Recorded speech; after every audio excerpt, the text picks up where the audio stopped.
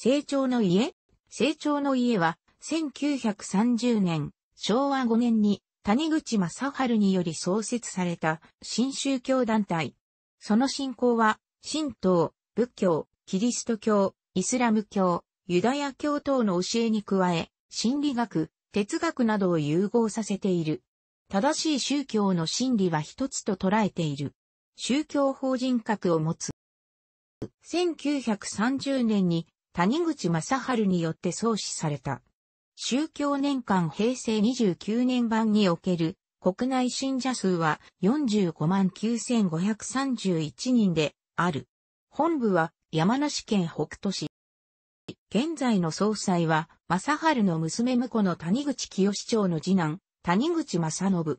2008年10月28日に、父、清市長が89歳に死去したため、立教記念日の2009年3月1日付をもって、正信が第三代成長の家総裁に就任した。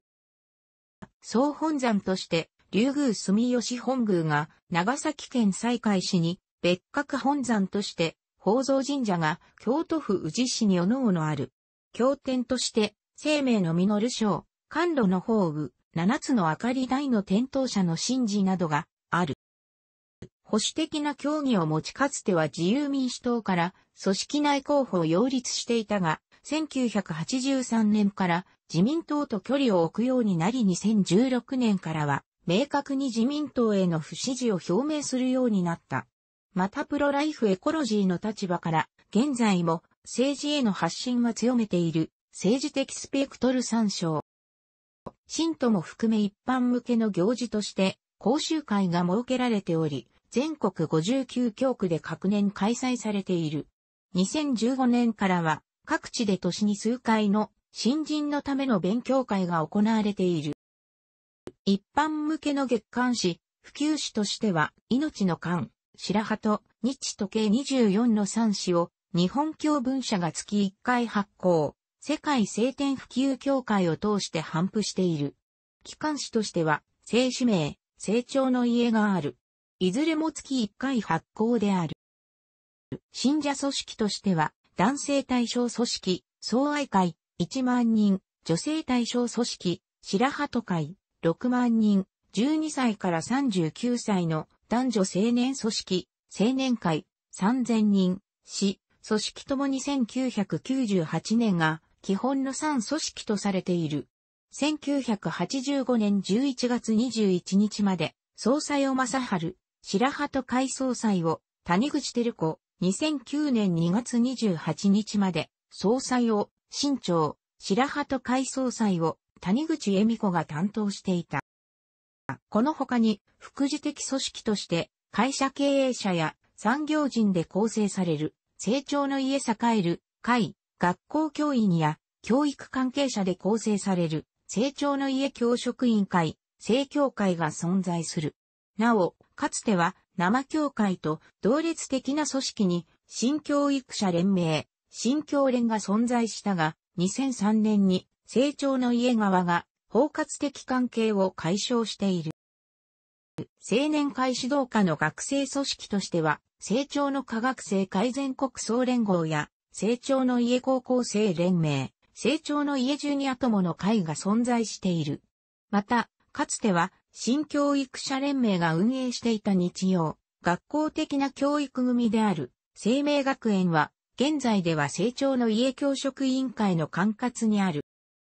なお、平成29年時点での新と、正指名会会員は45万9531人であり、組織会員は平成31年1月1日の総裁による挨拶によると約3万7千人である。海外活動は日系移民の多いブラジルで盛んで、信者数は250万人などと交渉。また、サンパウロ州、クリチーバ市、サンジョゼド、リオプレット市、サンタマリア市、ベレン市、ポルトアレグレ市等では、成長の家の日が制定されていると、成長の家は主張しており、実際にサンパウロ州議会で成長の家の日が祝われたという報道も、アナド、日系人を中心に影響力を持っている。同国では全国レベルで成長の家の日を制定しようという動きもある。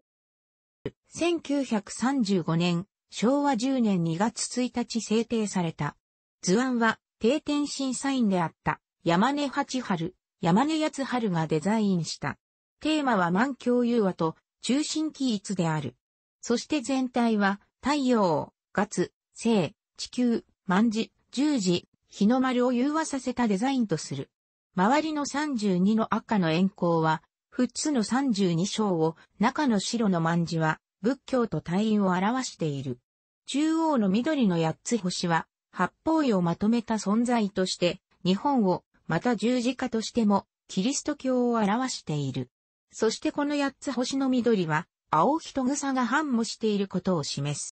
また成長の家ではこの気象を、太陽の子孫、神の子である印としている。また彦、彦、姫、姫の悟りを開いた32章の権限の兆候を示しているとする。1937年、昭和12年頃にこの図案のバッジも作られた。成長の家の競技は、正春の著作特に生命の実相と感路の方を基礎とする。なお、成長の家は、神道や仏教、キリスト教、天理教、大本当初宗教はその根本においては一致するという満教起一等思想を主張、布教している。ただし、現総裁の正信が成長の家の経典を含む各宗教の聖典の原理主義的解釈を否定していることでもわかるように、例えばイスラム原理主義や創価学会の教義をそのまま認めているというわけではない。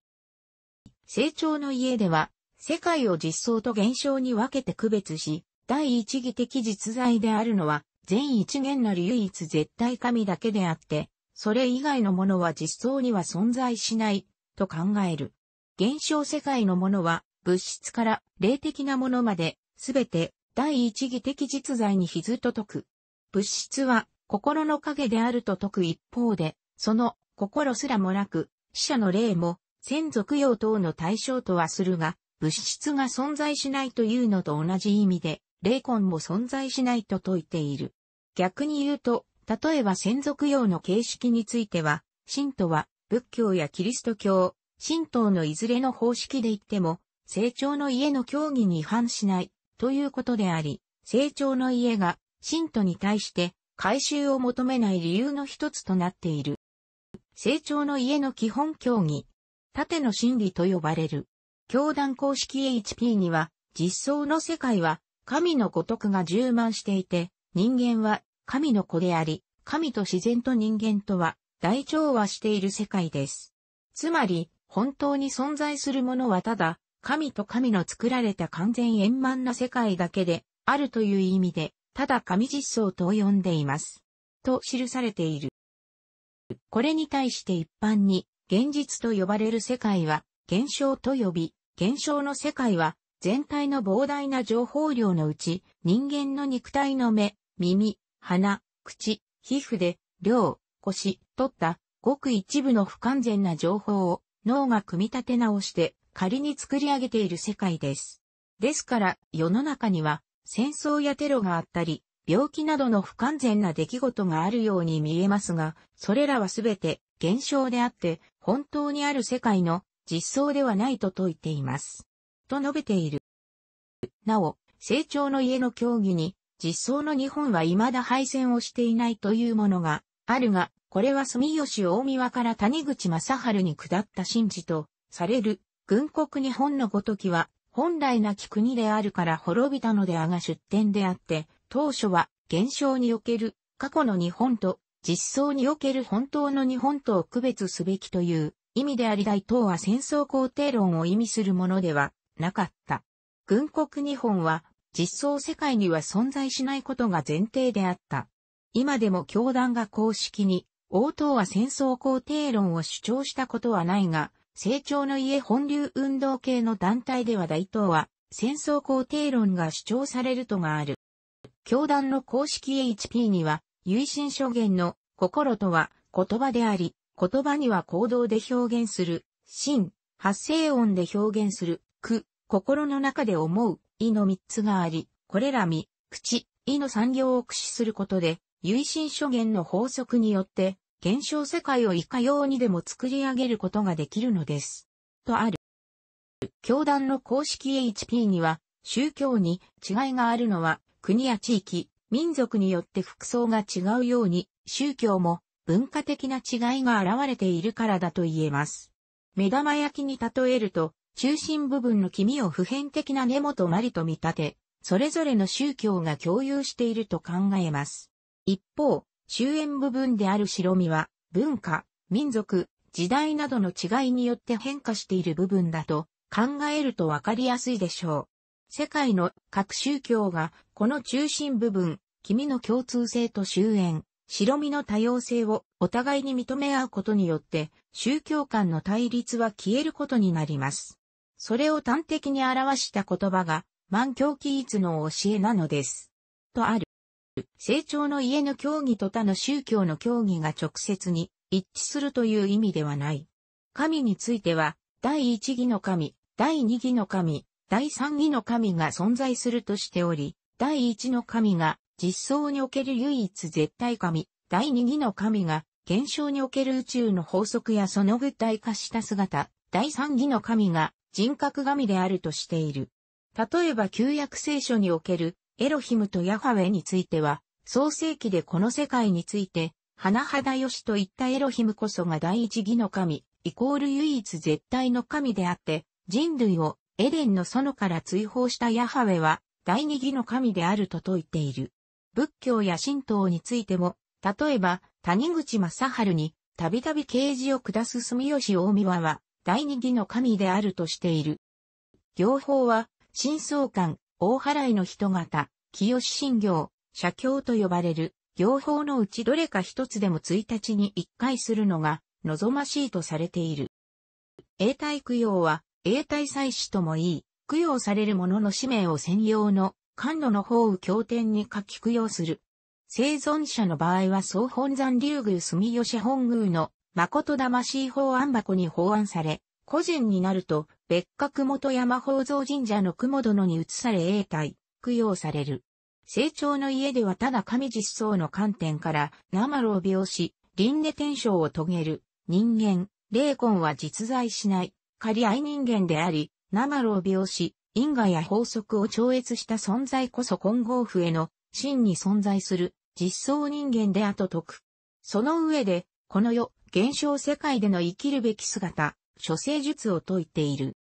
人間が実相を悟れば、事態、環境、法則はおのずから無害有益なものになり、真に無限供給の神の恵みを受けることができるとする。連生会は宿泊しながら、競技の学習と行法の実践を行う行事である。成長の家の各地の拠点で行われている。創始者、成長の家では、開祖や教祖の名称は使われないの谷口正春は、紡績会社勤務の時から1918年、大正7年に大元の先住活動家になり、出口鬼三郎の霊界物語の口述筆記に携わ、他、機関誌の編集士官などを歴任した。同時期に大元の本部で活動していた江森照子と出会い、1920年、大正9年11月22日に結婚。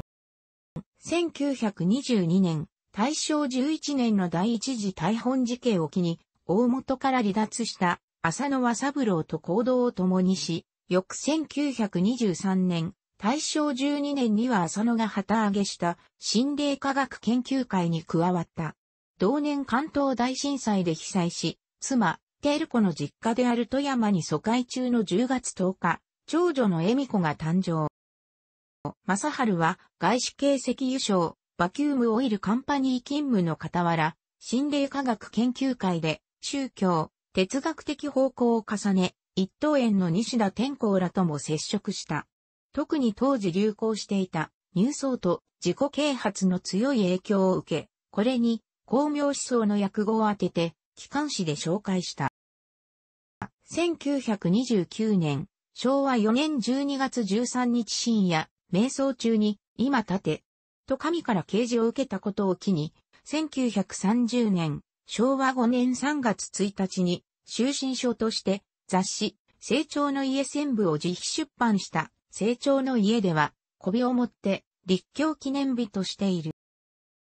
人間、神の子、実相一元、全一元の世界、万教記述の入層と流主張により、支持者、購読者を拡大。成長の家史で発表した正春の論文は1932年、昭和7年に生命の実る賞してまとめられ、1935年、昭和10年には購読者を組織して、教家団体成長の家を創設する。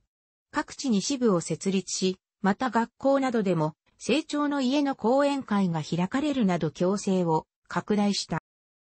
配色濃厚な1944年、昭和19年には紙の配給が止まり、成長の家史の発行も一時停止したが、軍国的な皇軍必勝のスローガンの下に、金属の教室運動や、勤労奉仕、戦闘機を軍に堅納するなど教団を挙げて、戦争に協力し、天皇信仰、感謝の教えを説いた。一方で、当時準国家的な扱いであった海ゆかばの歌を歌うことに反対するなどの活動も言ったため、憲兵や特別高等警察と教団の講師がトラブルになることもあった。成長の家及び成長の家系列の宗教の書籍等では、旧日本軍に成長の過信者が少なくなかったことが記される。宮城事件は、信者の田中静一が鎮圧した。根本博士は成長の家の協議に従い終戦後も、内モンゴルでソビエト連邦と戦った。戦後は西洋思想家の著作の翻訳も行っていたが、その翻訳作業の助手の募集を見た者の中に、後に正春の養子となり、第二代総裁となった荒地清市長、後の谷口清長がいた。新長は1946年、昭和21年に正春の一人娘の恵美子と結婚する。1949年、昭和24年に成長の家教団として宗教法人格を得て組織の再構築を行った。その後は妊娠中絶反対運動などでも積極的に政治活動を行うようになり、伊勢神宮の神儀の法的地位の確立、一宗教法人の私物ではなく皇位継承と特別な関係のあるものと主張や、靖国神社国家護持運動など、右派活動を行った。さらに、建国記念の日の制定や、言語法制化に教団を挙げて協力したほか、優生保護法廃止、堕胎禁止、反優生学、帝国憲法の復元、改正を掲げて、成長の家政治連合、生成連を結成したま、和夫、村上正国、田中忠夫、寺内博子を自由民主党公認候補として参院選に送り込んだ、この付近の経緯は、公明党を生んだ、創価学会とよく似ている。公明党の前身は、創価学会文化部から出た無所属議員である。1978年、昭和53年の第2回、総愛会男子全国大会、日本武道館で開催の時には、玉木和夫や中川一郎、眉住敏夫また130名ほどの国会議員が参加し、渡米中だった時の首相、福田武雄から祝電が届いた。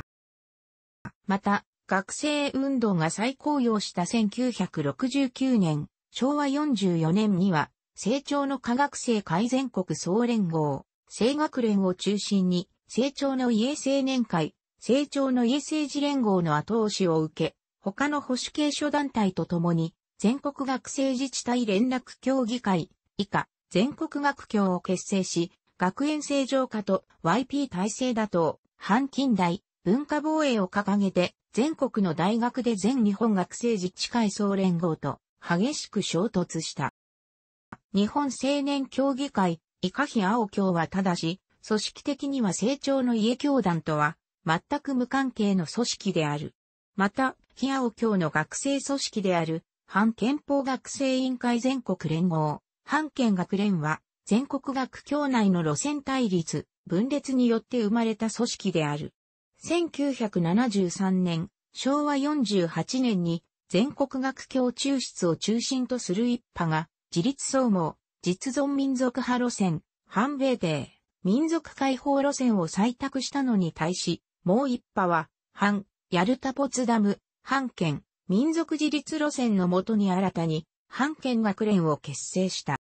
現在、日青京や伊藤哲夫の起こした日本政策研究センターは日本を守る国民会議の後継団体である日本会議の加盟団体として神社本庁やその参加の神道政治連盟、年法魔教、仏書五年会、高志教信仰、キリストの幕屋党、成長の家以外の保守的宗教団体と強い関係を構築している。保守的宗教団体に数えられることもある世界、キリスト教統一心霊協会イコール原理、研究会も全国学教の創創期に一時部分的に共闘したことがある。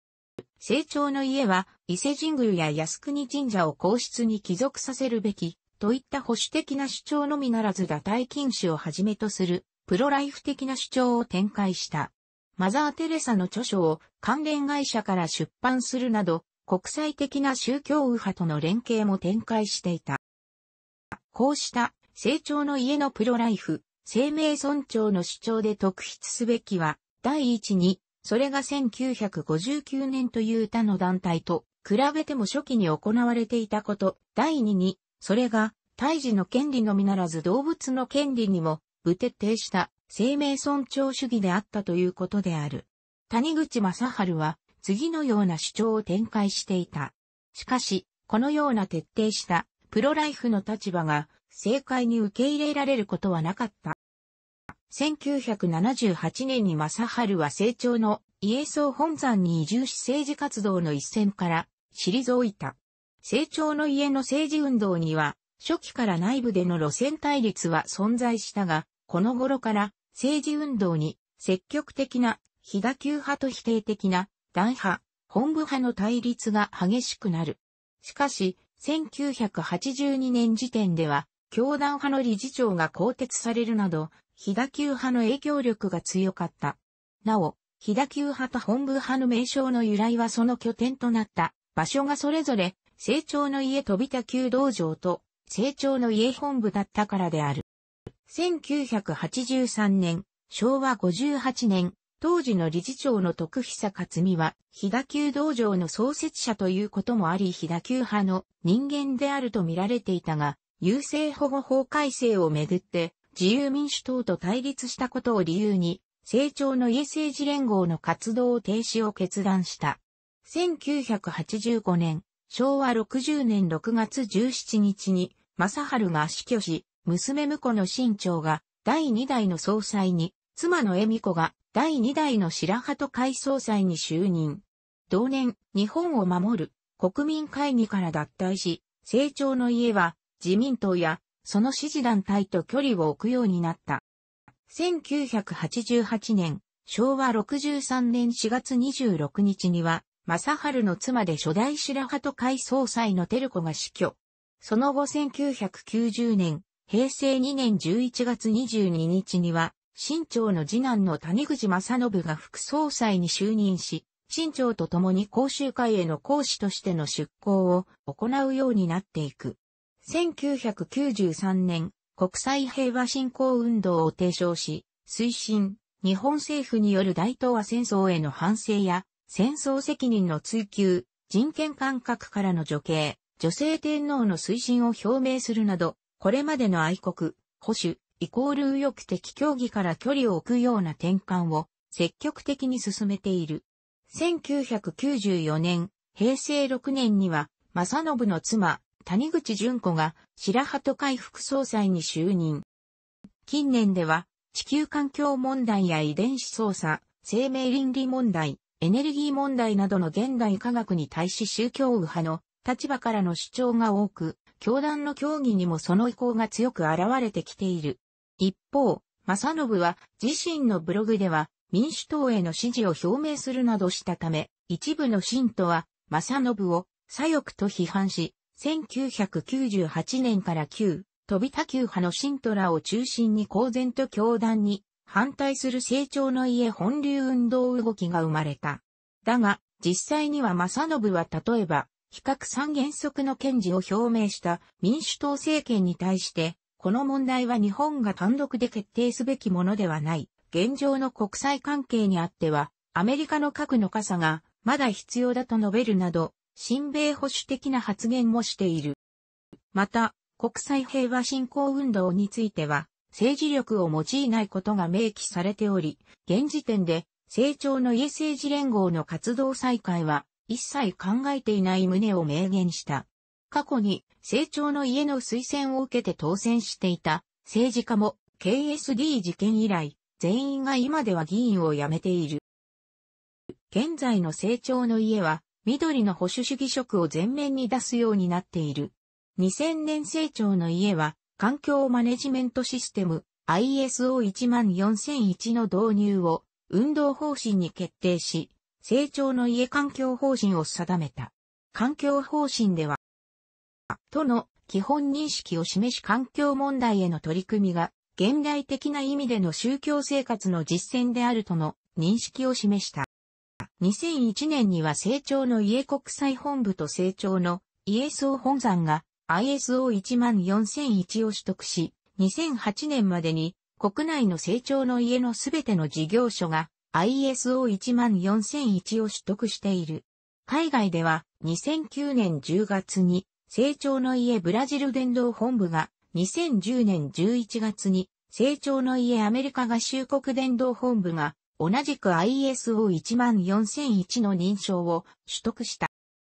新潮は2005年平成17年頃より体調を崩し自宅にて、療養、静養中であったが2008年、平成20年10月28日に死去。それに伴い、2009年、平成21年3月1日の立教記念日に、成長の家総裁法継承祭が取り行われ、正信が第三代総裁、合わせて、妻の純子が、恵美子より、白鳩会総裁職を譲り受け、第3代白鳩会総裁に就任した。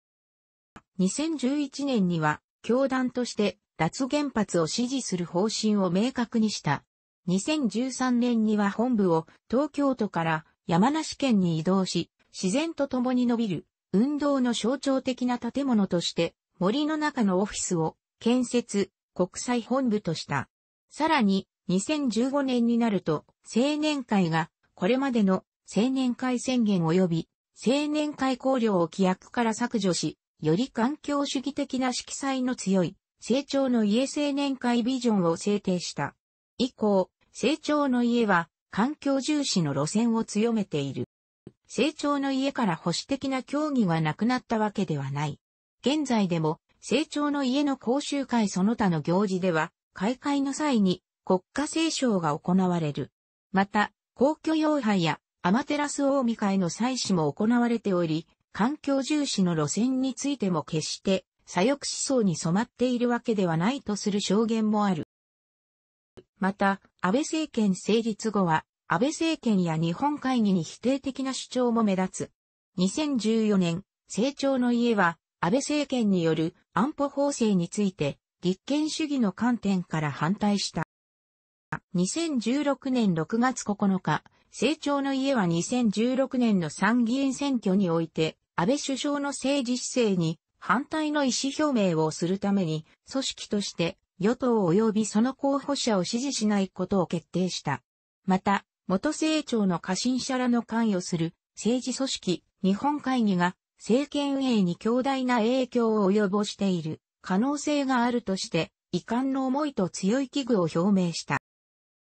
2017年10月6日、成長の家は第48回衆議院議員総選挙に対する方針を発表し、安倍政権が政治姿勢が改まらないどころか、国民を無視した強引な政権運営を繰り返しているとして、再び与党への支持を表明した。その中で、成長の家は、環境、資源問題の解決を含めた安全保障の推進を訴え、現在、地球温暖化の影響で激しい気候変動が起こり、巨大ハリケーン、洪水や干ばつの頻発によって飢餓が発生し、難民が大量に流出しています。これらの問題は国家間の紛争の火種になっています。また、石油や天然ガスなどの枯渇資源に依存した文明に頼れば、これも資源の争奪による紛争、戦争を引き起こす可能性があります。私たちはこのような環境問題や資源問題を解決することが世界の平和安定に大きく貢献するものであると確信しています。と主張した。成長の家はかつて政治運動に積極的であったこともあり、社会問題に対して様々な主張している。谷口正春は平和論をなす者、本当に平和を欲するならば、肉食という殺生食をやめることから始めなければならないのであります。と主張していた。その内容は、肉だけでなく魚や鶏卵、乳製品の摂取をも好ましくないというビーガニズムに近い考えであったが、成長の家が教団として信徒に対して徹底した菜食主義を行うように指導しているわけではない。しかし、谷口正信が副総裁になってから地球環境問題と家畜産業の関係が注目され、再び食卓から平和をスローガンに肉食を減らすべきであるという主張を行用になった。菅の官は成長の家について、三代目、総裁、谷口正信の元過去の愛国宗教路線を放棄し、エコロジー左翼のような方向転換をしていると述べているほか、正信が生命の実相の長番を停止するなどしていると主張しているが、実際には、教団が生命の実相を出版しないのは著作権を管理している成長の家社会事業団が成長の家本流運動に参加で教団に出版を認めない方針になったためであり、菅野の発言は事実に反する。また成長の家がエコロジー左翼路線に立ったという主張にも意義がある。例えば現総裁である谷口正信が発表したアマテラス大ミカのごとくを賛嘆する祈りには次のような記述がある。このように現在でも、成長の家は保守的な教義を持っており、宝蔵神社で水国用を行い堕胎や動物性集合肺に反対するなど、プロライフな主張も展開している。2006年8月30日には、ヒトクローン肺の研究、利用に反対する意見書を文部科学省に送付している。成長の家から離脱した組織としては、谷口正春先生を学ぶ会、成長の家社会事業団や新教育者連盟が存在する。成長の家社会事業団は、児童養護施設の成長の家神の国領を運営しており、口述のように生命の実相の著作権を有していたことから、外部に成長の家の分裂を印象づけることとなった。これらの分派は、成長の家本流運動、口述として知名度を持ち始めている。また、日本政策研究センターは、成長の家青年会で活動し、中央教育宣伝部長を務めた伊藤哲夫によって設立された団体である。なお、伊藤哲夫は日本会議常任理事を務めている。成長の家社会事業団は1998年より成長の家とは異なる別法人となっている。成長の家と日本教文社を原告、成長の家社会事業団と公明思想者を被告として、生命の実る賞の著作権等が平成21年から争われ、平成28年時点で訴訟が続いている。成長の家は、満教起一の立場から他の宗教を排斥しない立場をとっており、成長の家と他の宗教の信仰を二重に行うことも認めている。また、他教団にも成長の家に対して好意的な宗教は存在する。立正厚生会はかつて保守系の宗教団体として成長の家と関係が深く、成長の科学生改善国総連合が主導で結成された全国学生自治体連絡協議会にも立証、厚生改正年部がオブザーバー参加していた。また成長の家立教50周年式典には、立正厚生会会長も出席した。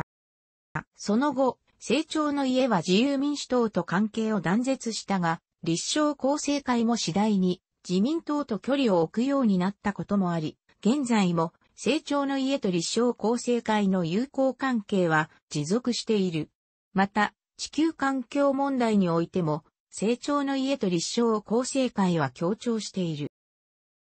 平成28年には、立正厚生会は成長の家の与党不支持の方針に賛意を表明した。平成29年には成長の家が北朝鮮情勢に関する立証構成会の見解に賛意を表明した。成長の家と神社本庁も同じ保守系の団体として友好関係にある。成長の家は神社神道の神を祭祀するのみならず、伊勢神宮をはじめとする神社本庁に属する神社への集団参拝も行っている。なお、成長の家と対立関係にある日本会議を神社本庁の関係団体とする主張も一部に見られるが、神社本庁の思想は、それほど自民党と親和性が高くないとの指摘もあり、政治的立場を理由に成長家と神社本庁が対立しているという事実はない。神社本庁側は成長の家について、従前の関係を維持していると説明している。上記の他全国各都道府県に協家部が設けられている。なお、新潟県、東京都、京都府、長崎県は2つの協家部が存在する。また、北海道は、札幌、小樽、室蘭、函館、旭川、釧路、北見、帯広に協家部が存在している。それぞれ、東京教区など教区という風に呼ばれる。なお、以下の団体は、宗教法人、成長の家より離脱している。文化の動向参照。楽しくご覧になりましたら、購読と良いです。クリックしてください。